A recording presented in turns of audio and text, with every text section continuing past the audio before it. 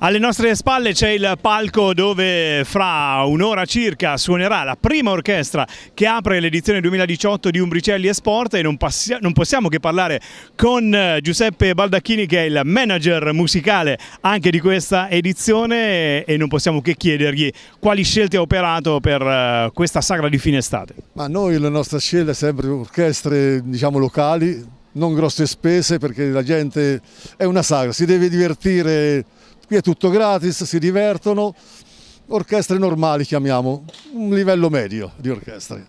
Con quali, eh, quali, sono i musicisti che apriranno questa serata? Questa sera abbiamo l'orchestra Una Tantum che aprirà questa serata, poi domani sera abbiamo Valli e Palma, un'altra bella orchestra, poi tutti, lunedì sera hanno esibizioni di scuola di ballo perché è una festa dello sport e anche questo rientra un po' sullo sport della, di questa festa, sul tema della festa.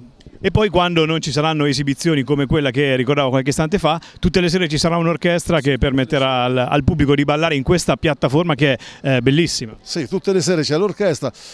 Fortunatamente viene sempre tanta gente a ballare perché è una pista che si balla benissimo. Siamo contenti, insomma, va, va benissimo. E c'è, possiamo anche dire, la particolarità che ci sono tante seggiole a bordo pista gratuitamente. Sì, qui, la nostra politica è non far pagare seggiole, perché è una sagra, è una festa, la gente deve venire, stare tranquilla, basta quello che vengono a mangiare, già ci basta quello a noi. Bene, quindi diciamo davvero che a Capanne lì si va all'insegna del divertimento puro. Sì, sì, Solo, noi cerchiamo di mettere il cliente che viene qui allo suo agio, cercando di contenere anche la spesa del cliente perché i tempi sono un po' difficili, far pagare la seggiola ci sembra un po' troppo.